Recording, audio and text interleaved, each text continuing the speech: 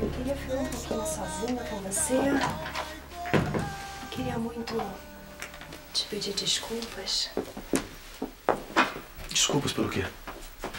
pelo papel ridículo que eu fiz. Você deve ter me achado a mulher mais fútil do mundo. Imagina, laço imperial. É, realmente eu, eu achei muito. Não, não era nada disso, meu amor. Imagina, eu realmente eu só queria ficar com você. Eu sei, bobagem, dois anos de casada, mas. Mas eu sinto muita falta quando você não está. Eu prometo. Eu prometo que eu não vou mais me comportar como uma menina mimada. Eu vou mudar.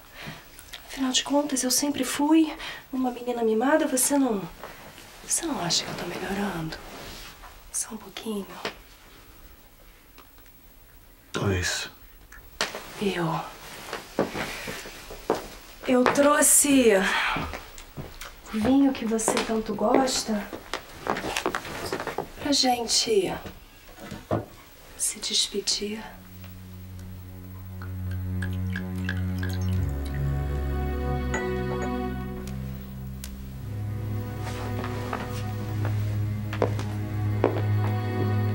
Alice, eu não posso beber, Alice. Eu Eu sei. acordo cedo amanhã. Eu sei, pra viajar. Mas eu, eu prometi que eu não ia te pedir absolutamente mais nada. E não vou mesmo. Eu sei que você precisa, às vezes, ficar sozinho. Eu respeito. Eu é que não preciso. Aliás, nunca, muito pelo contrário, eu me sinto tão. tão só.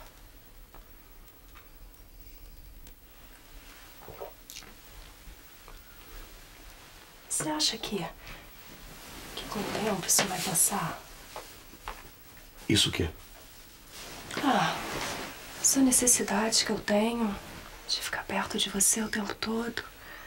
Essa aflição que eu sinto só de pensar que eu vou ficar alguns dias sem você. Ai, mas a Esther também.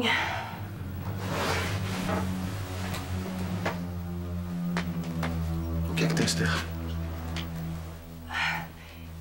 Sendo indiscreta, mas eu ouvi quando pediram a ceia no quarto. Eles não vão nem descer pra. Eu confesso que eu fiquei com uma certa inveja. Afinal de contas, está fazendo uma noite tão bonita. Você já viu a lua? E também. Tá quente.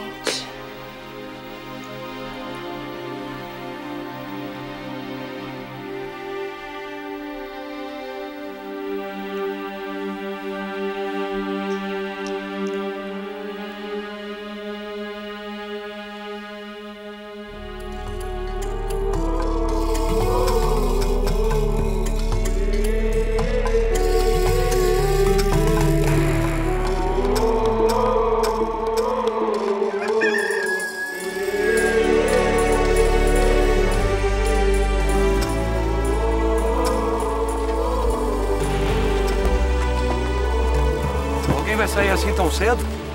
Estou indo pegar o trem agora. Não esqueceu as amostras do café da Ouro Verde.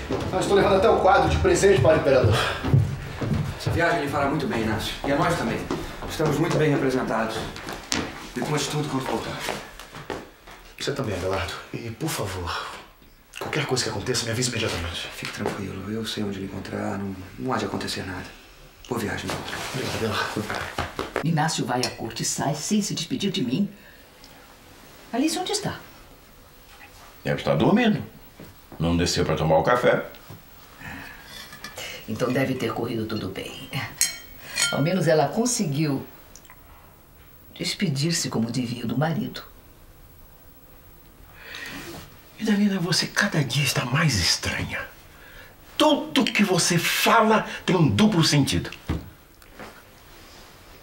Já não basta aquela viagem à corte, sem razão nenhuma.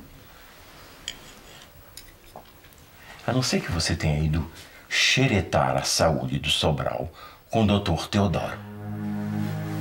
Então há alguma coisa com a saúde dele. Sobral está doente, Leopoldo. Conta o, o que é que ele